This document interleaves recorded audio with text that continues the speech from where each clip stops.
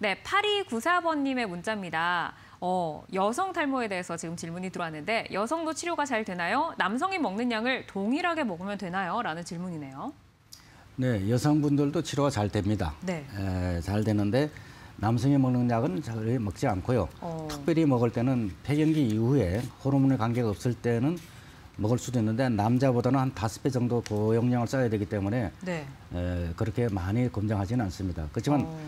아까 말한 대로 주사 치료라든지 줄기세포 치료라든지 이런 걸로 해서도 충분히 될 수가 있고요. 음. 되고 난 뒤에는 예, 집에서 할 수 있는 여러 가지 그 치료 방법이 케어하는 방법이 있기 때문에 유지할 수가 있습니다. 네, 그러니까 결국에는 여성들은 남성이 먹는 약을 동일하게 먹을 수는 없다. 네. 네, 네. 알겠습니다.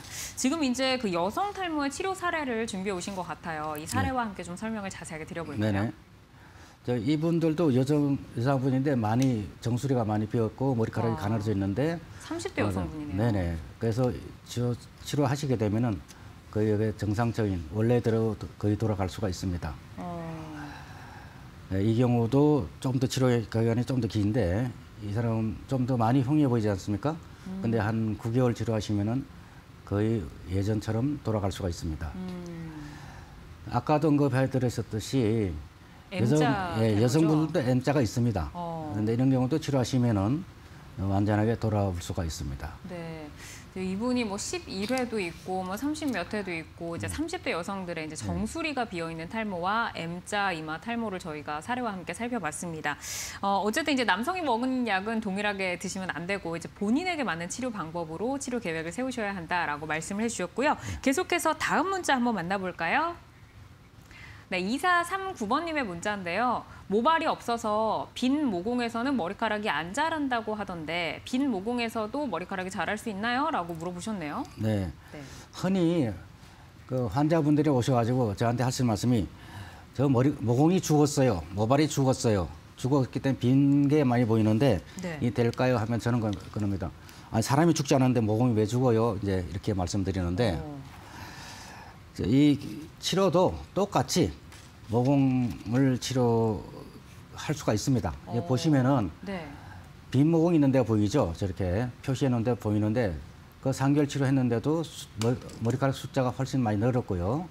또 두께도 두꺼워져 있습니다. 그다음에 이 사람 같이 이마가 M자처럼 보이진 않는데 네. 사진 찍어보면 빈 데가 보이거든요. 어, 어, 그런데 자세히 보시면 치료하시면은 저렇게 머리카락이 많이 난 게 보입니다. 네. 이 경우는 상당히 심하죠. 어, 40대 남성분이네요. 네네. 40대인데도 이렇게 많이 심한데 네. 정 가운데를 찍은 건데요. 어. 아예 없는데도 나중에 보면은 3개월, 6개월마다 보면은 보이죠. 그 밑에서 보면은 없었, 없었던 데서 나오는 게 보일 겁니다. 그래서 이 보면은 이렇게 많이 심했던 경우에도 죽어 있는 것이 아니라 모공이 죽은 게 아니라 그 밑에 살아 있기 때문에 그래서 치료를 하게 되면은 좋아지게 되어 있습니다. 어, 이렇게 이제 비어 있는 모공에서도 사실 굉장히 좀 심하게 진행된 이런 탈모 같은 사례에서도 치료가 가능했던 그런 이제 좀 사례들을 저희가 어, 만나봤습니다. 뭐 여성분들도 있고 남성분들도 있었는데 정말 남녀노소 가리지 않고 다가오는 그 탈모다라고 볼 수가 있을 것 같아요. 이제 저희가 이제 지금 생방송으로 함께하고 있어서 많은 분들이 전화와 문자로 상담을 신청을 해주시고 계시고요. 궁금한 점 있으실 때는 저희 상단에 있는 전화번호로 전화를 주시면 되겠고 샵 3772번 문자도 활짝 열려 있으니까요. 편안하게 문의를 주시기를 바라겠습니다. 저희는 시청자분과 전화 연결 한번 해보도록 하겠습니다. 여보세요? 네, 여보세요. 안녕하세요. 네, 안녕하세요. 네, 예. 네, 시청자님 어떤 부분이 머리 좀 예, 지금 궁금하실까요? 테레비 보고 네. 제가 정수리하고 M자형으로 여자인데 네네. 빠져서 상담 드리려고요. 어, 네. 지금 시청자님 뭐 나이대나 아니면 증상이 어느 정도 되실까요? 네, 저는 나이는 지금 63세고요. 네. 어, 머리가 M자형으로 이마가 너무 넓어지면서 M자형 되고 정수리 어, 거기 머리가 너무 지금 없어서 자- 계속 그 머리가 계속 빠지네요. 네. 혹시 치료를 받아보신 경험은 있으신가요? 어, 없어요 한 번도. 아, 직 없으시고. 네. 알겠습니다. 그럼 원장님과 바로 이야기를 나눠보세요. 네, 감사합니다. 네, 안녕하세요. 네, 안녕하세요. 어, 최근에 시작된 건가요? 아니면 좀 어느 정도 기간이 된 겁니까? 올- 올해 이제 조금씩 조금씩 계속 빠져서 아버지가 음, 머리가 대머리 그 정도였었는데 네. 제가 계속 조금씩 빠지는 지금 나이가 먹다 보니까 더 많이 빠져갖고 머리도 이 긴 머리를 이렇게 가릴 정도로 네. 이렇게 치- 빠졌어요. 네. M자는 시간이 좀 많이 걸리지만은 네. 원래가 M자가 아니었다 아니었고 원래 있었다 그러면은 돌아올 수 있습니다. 그다음에 정수리 같은 부위는 여성형 탈모는 대부분 정수리부터 시작되거든요. 네. 그래서 어, 그것도 주사 치료하고 하시면은 거의 다 돌아올 수가 있습니다.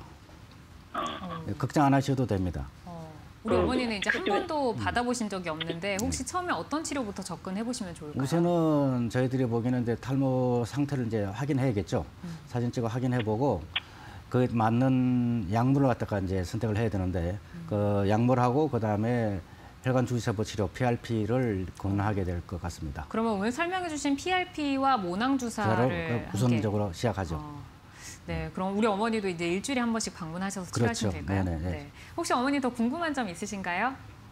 그 치료 바- 받고 싶 상담하고 싶은데 어디로 가면 아, 아, 네네. 예. 저희가 이제 생방송 중에 네. 여기까지 안내를 해드릴 수 있어서 좀 더 자세한 내용은 방송 보시면서 참고하시면 좋을 것 같습니다. 어, 우선은 이제 63세 어머니께서 한 번도 치료를 해보신 적이 없는데 정수리와 M자형 탈모 때문에 고민을 하셨고 네. 오늘 저희가 설명을 해드렸던 PRP 줄기세포 치료와 모낭 주사 조금 복합적으로 사용을 하면 도움이 된다라고 하셨으니까요. 이런 부분 참고하셔서 치료 계획 잘 세워보시기를 바라겠습니다. 어, 그리고 이제 탈모와 관련된 속설들이 사실 우리 주변에 굉장히 많아요. 네, 네. 이제 좀 중요한 게 네. 그 이대에 걸쳐서 유전된다. 그래서 이제 할아버지가 탈모면 아들이 탈모가 아니라 그 밑에 손자가 탈모다. 뭐 이런 얘기 있더라고요. 실제- 실화인가요? 아니면 거짓인가요? 실제는 그렇지 않고요. 네. 대체적으로 그 다로 이제 유전이 되는 경우가 있는데 유전자가 굉장히 다양합니다. 어. 그러니까 엄마 쪽도 봐야 되거든요. 아. 엄마의 어머니도 보셔야 되지만 엄마의 아버지도 보셔야 되고 음. 근데 그 위 외할아버지 할머니도 다 보셔야 되기 때문에 네.